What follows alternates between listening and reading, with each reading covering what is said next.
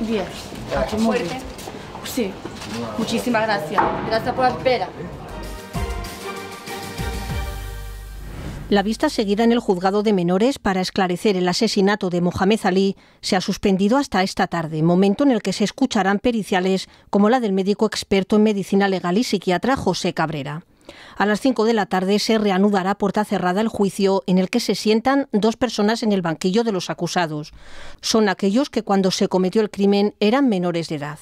El abogado Néstor García León, que defiende los intereses del varón señalado precisamente como presunto autor del crimen, ha explicado a la salida de los juzgados que la sesión iba a continuar a las 5 de la tarde cuando se podía escuchar al doctor Cabrera.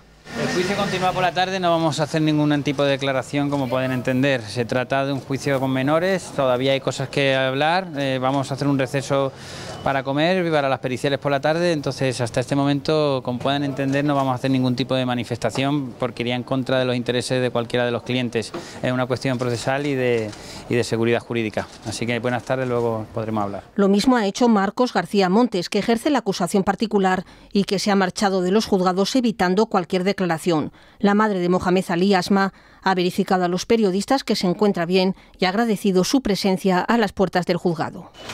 Voy a correr porque continúa a las 5 y evidentemente no he nada. Luego cuando termine sí, ¿vale? Continúa a las 5.